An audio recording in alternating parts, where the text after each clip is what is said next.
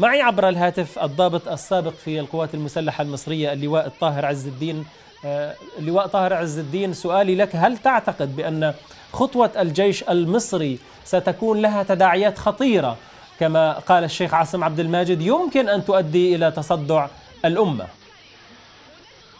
طبعا بدون نقاش. هو هنا عايزين نسأل أسئلة مهمة جدا. إيه اللي ورا العملية وإيه ورا انقلاب السيسي؟ وإزاي يعلن السيسي هذه الأيام أسماء الناس اللي موتوا الناس بتوع رفح؟ أصل العملية جاية منين؟ سبب القيح اللي إحنا فيه والانقلاب الدستوري ده والانقلاب على الشرعية جاي منين؟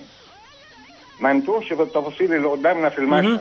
الناس اللي في الميادين دول ده فعل إلهي لأن لا يمكن يكونوا كل دول إخوان مسلمين. كلنا مسلمين. المنظر ده لوحده بيقول إزاي اختار بتوع التحرير وما اختارش اضعافهم اللي بره؟ مش هو ده الشعب المصري؟ إزاي بني آدم بيرتكب هذه الجريمة؟ وإذا ما كانش يعرف إن ده هيوصل لاحتراب والمصريين يقتلوا بعض استخداما للسلاح اللي دافع ثمنه الشعب المصري في صدور المصريين تبقى جريمة كبرى جريمة خيانة عظمى. هو سؤال للسيسي. بيعلن أسماء الناس بتوع رفح بعد السنة ليه؟ نسأله سؤال تاني وكان مدير المخابرات الحربية المسؤول الأول عن الحدود والقوات المسلحة وخصوصي حدودنا مع اليهود. إزاي؟ ما عرفش الكلام ده. إن كنت لا تدري فتلك مصيبة وإن كنت تدري فالمصيبة أعظم. وإزاي بيقول دلوقتي بعد سنة؟ ليه؟ عشان يتهم مرسي بيها. ده اتهموهم اتهموا الإخوان إن هم عاملين ما فيش ثورة 25 يناير. دي مؤامرة إخوانية. مشيا مع محامي مبارك. الديب اللي اعلن هذا. أعادوا إنتاج 25 يناير بفجره في 30 بس المره دي حصروا الناس كلهم قفلوا القنوات كلها في لحظة زي ما قفلوا التليفونات أيامها. المرة دي عملوها وتعلموا الدرس عشان يقهروا الناس واضحة. اللي ورا بسال السيسي. الكلام ده مين اللي مسؤول عنه؟ وليه اتشال بتاع التحريات العسكرية. وليه دلوقتي تغيير مدير المخابرات عشان يعملوا تهمة خيانة عظمى والقضاء معاهم والإعلام معاهم والبوليس معاهم مؤامرة كاملة. الأركان واضحة في التصرفات في لحظة. طيب سيادة اللواء سيادة اللواء هذا التصور الذي تنقله هذا التصور كم برأيك وبتقديرك من ضباط الجيش المصري الضباط الكبار أمثالك أو حتى ضباط الصف الثاني من أبناء الجيش المصري من لديه هذا التصور ولديه هذه الخشية على الجيش من خطوته الانقلابية؟ لا يخلو أي تجمع من البشر في الدنيا من اختلافات. مستحيل. تحسبهم جميعا وقلوبهم شتى. في ناس مع وفي ناس ضد. القوات المسلحة اطلاقا ما ينفعش تتقال. دول القادة زي المجلس العسكري السابق هو اللي كان بيدير. بدأ الناس بتقول الشعب الشعب والجيش إيد واحدة وانتهى فيهم حتى لو خدناه على المستوى الإداري. يسقط يسقط حكم العسكر. الشعب يريد إعدام المشير. يبقى في فشل إداري. وما يعملش كده إلا ربنا لأن جواهم بيعملوا المؤامرة. اللي قالها حسني مبارك هو ليه سلم القوات المسلحة ما سلمش حد تاني كدستور؟ رئيس المحكمة الدستورية أو رئيس مجلس الشعب. لأن دول بينفذوا من ساعتها المؤامرة ومعاهم الفلوس ومعاهم جنودهم ومعاهم الضباط بتوع الأمن الدولة اللي بيسيطروا على البلطجية اللي مربينهم بقالهم 30 سنة. معاهم كل الوسائل. وزكريا عزمي فرم المستندات اللي مش عايزها ومعاه المستندات اللي بيعمل كنترول عليها. اللي ورا الحتة دي هم اللي بيشغلينها لحد دلوقتي. بص للمشهد اللي حصل في 30 هو بتاع 25 يناير. بس صححوه بقى. مين اللي بيقتل الناس سلميين؟ ليه؟ ابحث عن المستفيد. علم الجريمة بيقول كده. مين اللي فرحان قوي باللي بيحصل دلوقتي؟ اليهود وبعتوا لهم مندوب. لأن حسني مبارك كنزهم الاستراتيجي. انت تقصد يعني انت تقصد دولة الاحتلال الإسرائيلي. سيادة اللواء الآن سؤالي لك. أمام هذه الحشود المليونية التي نشاهدها في ميدان رابع العدوية وفي الإسكندرية القائد العام للقوات المسلحة عبد الفتاح السيسي والضباط الكبار في مصر ألا ألا يرون أو لا, لا يعيدون حساباتهم بناء على ما يشاهدونه من الشعب المصري؟ ألا يمكن أن يؤثر فيهم الموقف اليوم كما بين قوسين ربما يكون أثر بهم موقف ميدان التحرير؟ أو كما يدعون ذلك؟ ده ده أكيد لأن ده فعل ربنا. وإذا كان هم لن يرعوه يبقى بيسوقوا الدولة لاحتراب لا أول له ولا آخر. والقوات المسلحة مش هو السيسي والقادة الكبار. دول كلهم نشأوا وترعرعوا وترقوا وفضلوا في الاستمرار في الخدمة لأنهم مناسبين للعهد السابق. دول ناس ما حضروش حرب ما فيهوش معناها ما فهموش الناس اللي ماتوا عشان البلد دي. إذا دول أصلا الطغمه اللي فوق لا يمكن يكون الجيش دول ما هو الجيش مين؟ ولادنا وأخويا وأخوك الناس دول من انقى الناس اللي في البلد لأن النظام عندهم مش زي الشرطة. نظام نقي جدا. لكن دايما زي المجلس العسكري هو اللي كان بيحكم الجيش. الناس دي بتنفذ أوامر. محدش منهم بيطلع طلقة اللي بيطلع طلقة من وراه مبريز زي أيام معركة العباسية. واضحة. والمعركة قدام المجلس العسكري أيام المجلس العسكري السابق. هم دول قعدوا سنتين مد المجلس العسكري عشان ما يبقاش فيه محاكمات ثورية ونفذوها بدقة.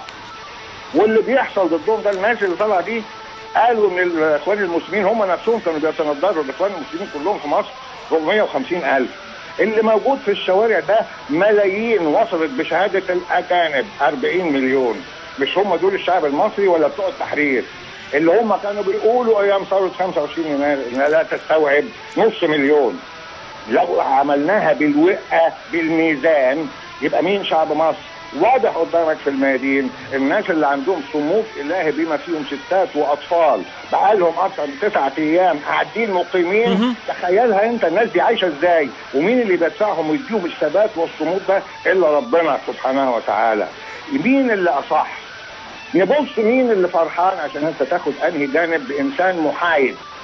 مين اللي فرحان بدي؟ أكثر الناس فرحة اليهود والأمريكان كعادتهم يمسكوا العصاية من النص ويستنوا يشوفوا إيه اللي بيحصل. ولكن هناك دول عربية سيادة اللواء بادرت في الساعات الأولى للانقلاب إلى تهنئة الجيش المصري وإلى تهنئة الرئيس المؤقت الذي وضعه الانقلاب، سؤالي لك أنت كضابط ما خطورة ذلك على مستقبل الجيش المصري عندما يكون ربما حتى قرار قيادة الجيش ربما يكون تأثر أو ارتهن بحسابات إقليمية وحسابات خارجية؟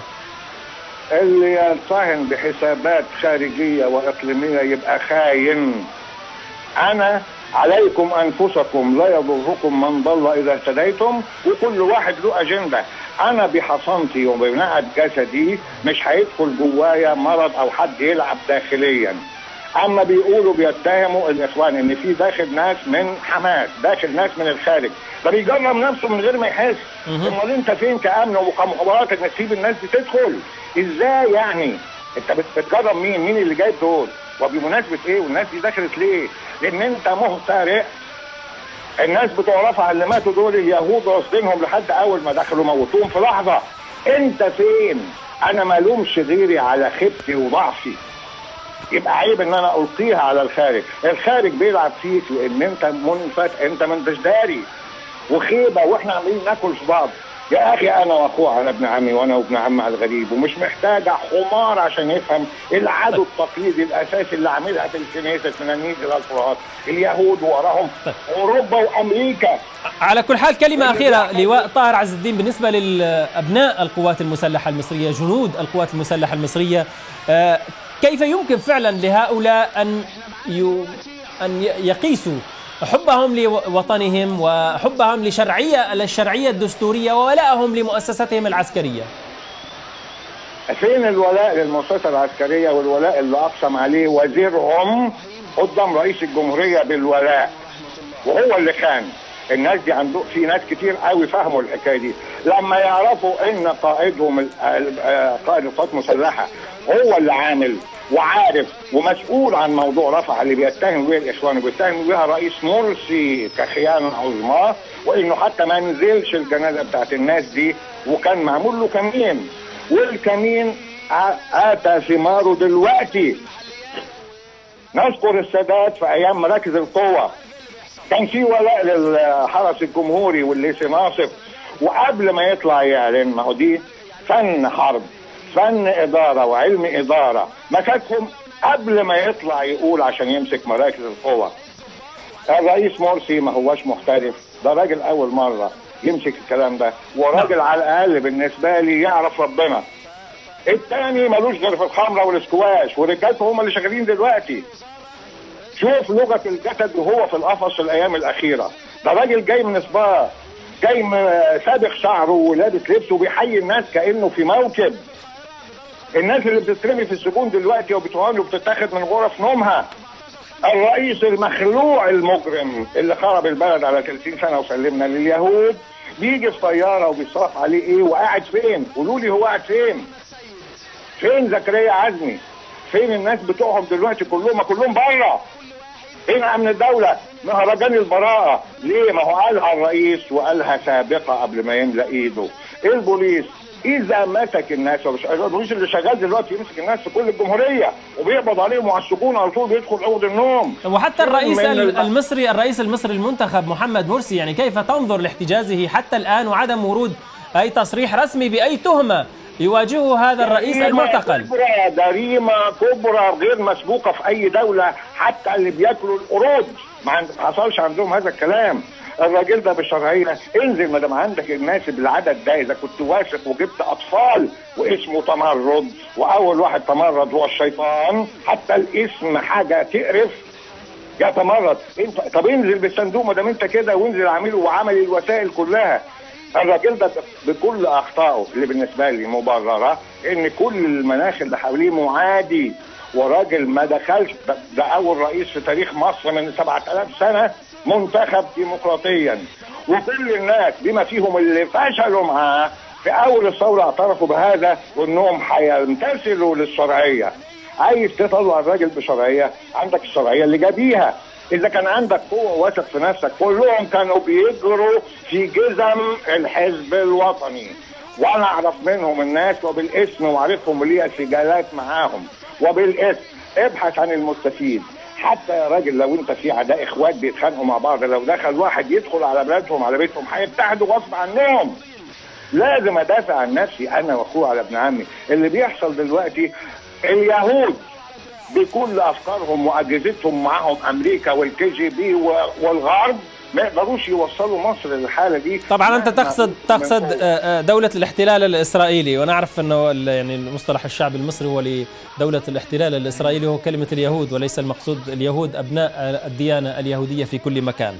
آه، لواء طاهر عز الدين كلمة أخيرة بالنسبة للمواطنين المصريين الذين دعاهم آه، الشيخ عاصم عبد المجيد إلى الخروج من منازلهم والمساهمة في هذه الاعتصامات والمظاهرات. برأيك هل تعتقد بأن هذه الحشود آه، ستحرك حتى الذين آه، قاموا بهذا الانقلاب وتدفعهم للعدول عن ذلك القرار؟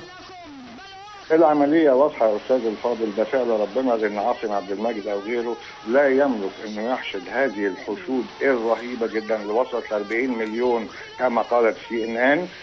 آه، ده فعل إلهي. زي الثورة نفسها اللي كان دي مجموعة شباب ما يعرفوش حاجة بقت ثورة.